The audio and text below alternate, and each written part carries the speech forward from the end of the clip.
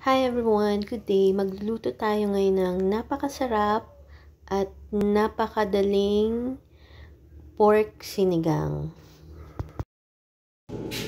So, ang una po natin gagawin ay um, palambutin at pakuluan natin yung pork.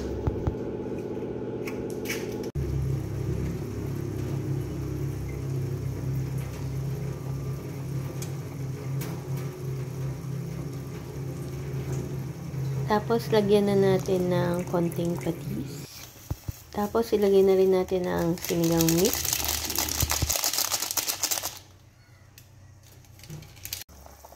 Tapos, ilagay na natin yung okra.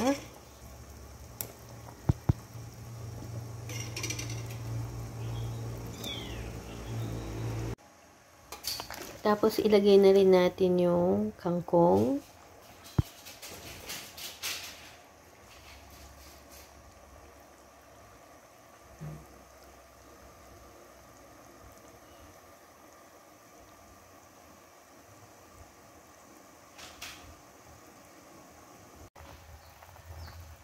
Pakuluin natin saglit hanggang, hanggang maluto yung mga gulay.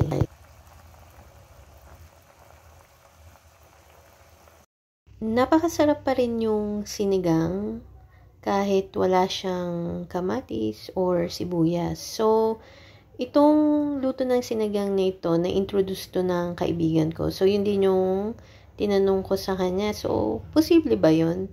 Sinigang pero walang kamatis at sibuyas. Pero nung na-try ko nga, tapos niluto ng friend ko, masasabi ko nga na nandoon pa rin yung sarap talaga ng sinigang na pork.